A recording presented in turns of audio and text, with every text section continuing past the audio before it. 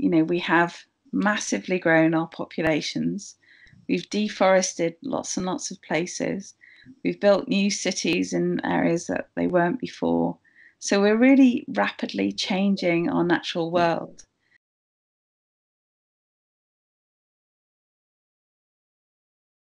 Zwei Drittel aller Krankheiten stammen also von Wirbeltieren, sind also sogenannte Zoonosen und sie werden auch immer häufiger.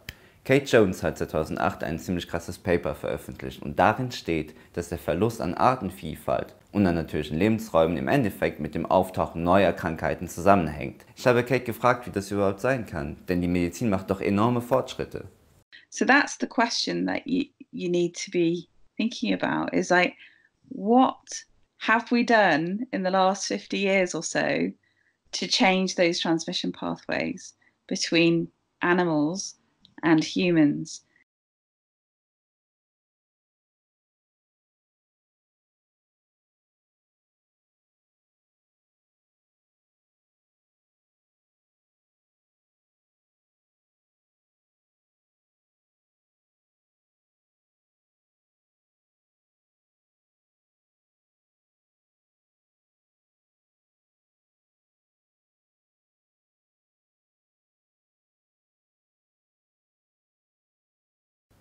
Und dazu kommt auch noch der Verlust an Artenvielfalt. Anstatt dass zum Beispiel ein Faultier mit einer Ratte, mit einem Eichhörnchen zusammenleben, kohabitieren jetzt eine Ratte mit einer Ratte mit einer Ratte. Und da kann das Virus einfach durchfetzen. Und das ist halt irgendwie ein bisschen blöd, weil wir Menschen schaffen an sich nur perfekte Bedingungen für Krankheiten.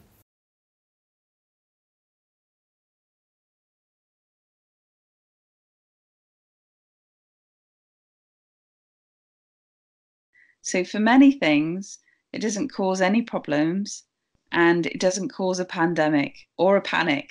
Nothing happens and it's not detected and there's no problem. But for some diseases, it causes pandemic spread and panic, like this one. Virus. Schleich die von wo du gekommen bist.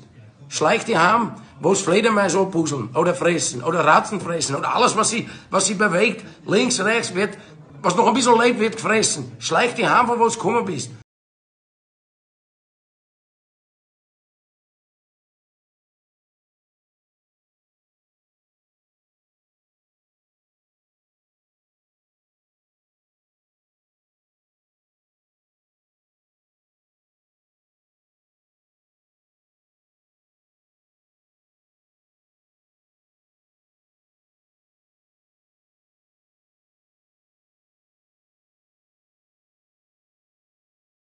Alleine mit dem Kauf eines Smartphones zum Beispiel tragen wir dazu bei, dass sich neue Viren entwickeln. In Kongo wird zum Beispiel Kobalt abgebaut und das wird irgendwo im Regenwald gemacht.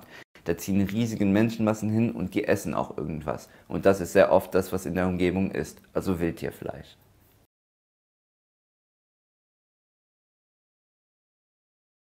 Man muss sich darüber im Klaren sein, dass wir dieses ganze Problem nicht hätten, wenn keiner auf der Welt Fleisch essen würde tun wir aber irgendwo. Und ich denke, es wäre recht postkolonial von uns zu erwarten, dass die gesamte Welt von heute auf morgen einfach mit Fleischessen aufhören wird. Aber es gibt auch einen anderen Lösungsansatz und das ist der von One Health. Und hier geht es darum, sich, wie der Name schon sagt, um die Gesundheit aller Menschen, aber auch alle Lebewesen zu kümmern.